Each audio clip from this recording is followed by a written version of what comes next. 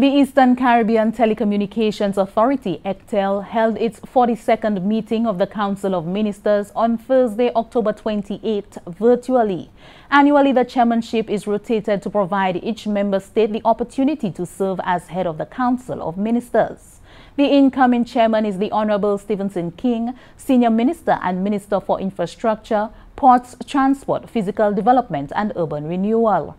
Considering the increased reliance on data, mobile devices and computers to facilitate remote work, online learning and shopping, among other tasks, ECTEL's role as a regional regulatory body for electronic communications has become even more important.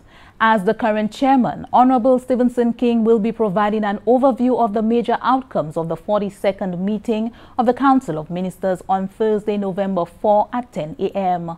Additionally, he will be joined by members of ECTEL's management team. The press conference can be watched live on the Government Information Services Facebook page and YouTube channel, as well as the Eastern Caribbean Telecommunications Authority's Facebook page.